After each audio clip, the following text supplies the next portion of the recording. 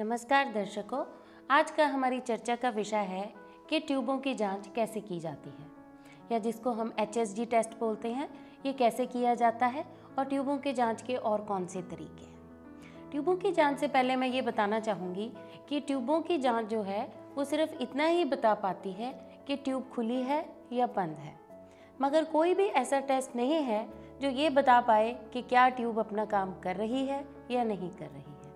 Tube का काम जाकर अंडे को उठाना होता है। अब ट्यूबों के जो भी टेस्ट होते हैं, उसमें हम पीछे से पानी डाल रहे हैं, आगे से चेक कर रहे हैं कि निकल गया कि नहीं। तो ऐसा जो टेस्ट है, वो सिर्फ़ यही बता पाता है कि ये पाइप खुली है या बंद है। मगर ट्यूब का जो फ़ंक्शन रहता है, जो ट्यूब का फ़ंक्शन ये है कि जाकर अंडे को उठाना है, वह हो रहा है या नहीं हो रहा है, ऐसी जाँच जो है, अभी भी साइंस के द्वारा संभव नहीं है। अब ट्यूबों की जाँच जो है वो दो तरीके की होती है। हम पहले एक अल्ट्रासाउंड करते हैं, जिससे हम ये जान लेते हैं कि अल्ट्रासाउंड बिल्कुल नॉर्मल है और हम सिंपल टेस्ट से ट्यूबों की जाँच कर सकते हैं।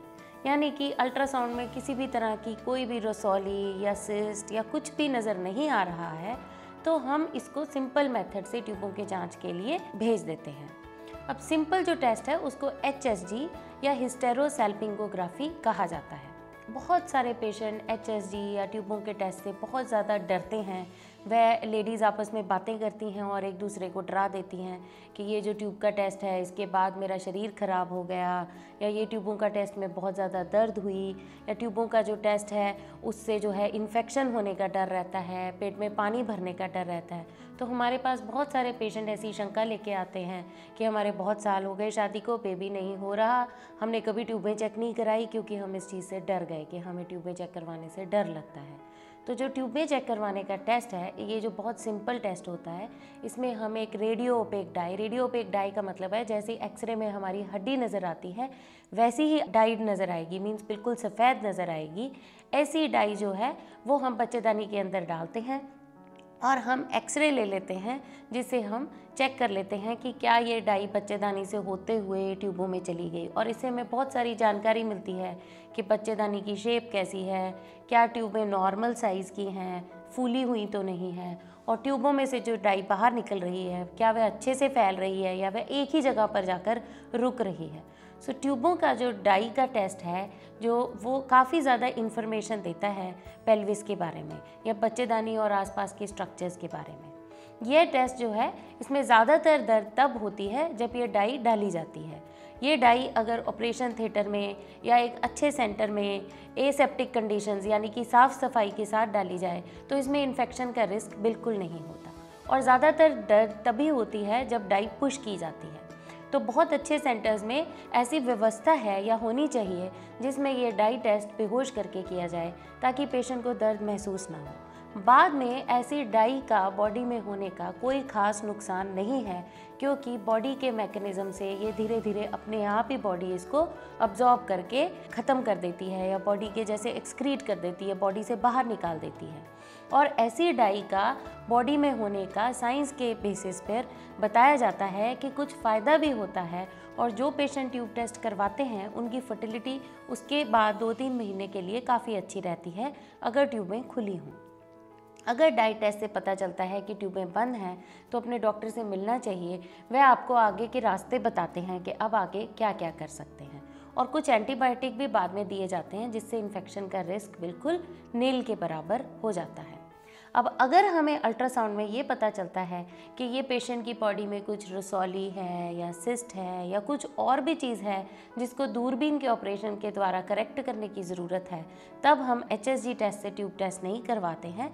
तब हम दूरबीन के ऑपरेशन के द्वारा भी चेक कर लेते हैं, जिसमें हम दूरबीन के ऑपरेशन में जब मरीज़ ऑलरेडी ही बेहोश होता है, हम जो है नॉर्मल सेलाइन लेते हैं, उसके अंदर कुछ ब्लू कलर की मिथिलीन ब्लू डाई डालते हैं और वह डाई हम जो है नीचे से बच्चेदानी के अंदर डालते हैं और पेट में हम दूरबीन के द्वारा चेक कर लेते हैं कि क्या ये डाई जो है वो ट्यूबों के द्वारा अच्छे से बाहर आ गई है, फ्री फ्लो के साथ बाहर आ गई है या नहीं।